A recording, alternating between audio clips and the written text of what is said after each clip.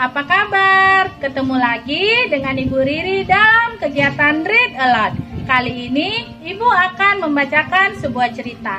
Apakah kalian penasaran dengan ceritanya? Yuk kita simak sama-sama. Kenny Pilek oleh Aldora dan Inner Child Studio. Asik! Hari ini kami pergi ke kebun binatang.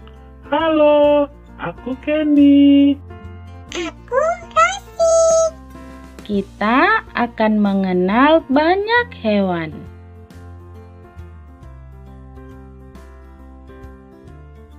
Hore, kita sudah sampai.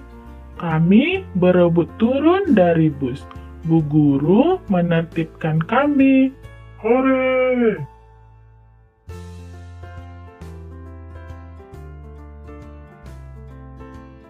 Wow, lalu kami berkeliling kebun binatang. Kami melihat gajah, unta, singa, juga aneka burung. Terakhir, kami melihat orang utan.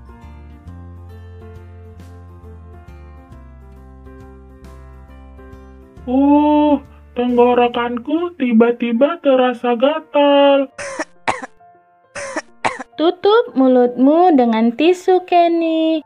Bu guru memberikan tisu Jika sudah, buang bekas tisunya di di tempat sampah. Jawabku. benar. Nih, begini juga boleh kan, Bu? Kata Rosi. Betul, agar tidak menular. Kata bu guru.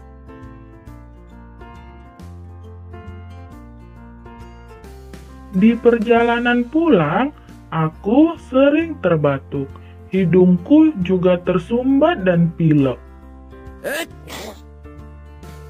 Bu guru menghampiri dan memegang dahiku. Wah, agak panas.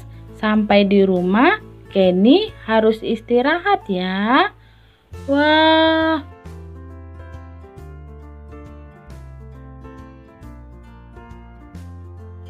bagaimana jalan-jalannya Kenny? Asik mah, ada gajah, kuda. Uh, hidungku pilek lagi.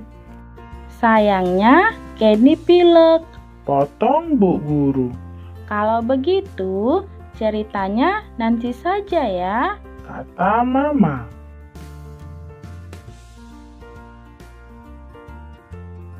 Mama membantuku ganti baju, lalu menyiapkan makanan. Ayo, ini sup ayam kesukaan Kenny. Tapi aku tidak ingin makan, Ma. Sedikit saja, Mama suapi ya. Namun, keesokan harinya sakitku lebih parah.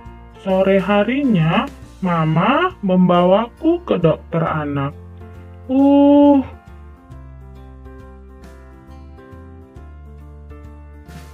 Halo Kenny. dokter menyambutku dengan ramah dan memeriksaku. Kenny terkena salesma.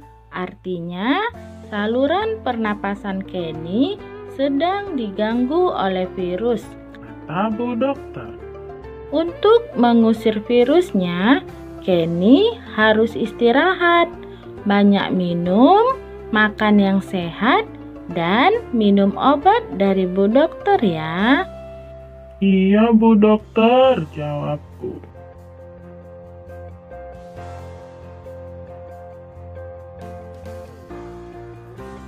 Ibu dokter memberikan obat salesma dan obat tetes untuk mengencerkan lendir. Mama membantuku memakainya jika hidungku tersumbat. Nyam, aku juga makan makanan sehat. Shh, Salesma bisa menular. Jadi, Bu Dokter menyarankan agar aku istirahat dulu di rumah. Hore! Wow, lihat! Beberapa hari kemudian, aku sudah lebih sehat. Aku siap menceritakan pengalamanku ke kebun binatang. Nah, ceritanya sudah selesai. Semoga kalian suka dengan ceritanya. Sampai ketemu di cerita ibu yang berikutnya. Bye bye.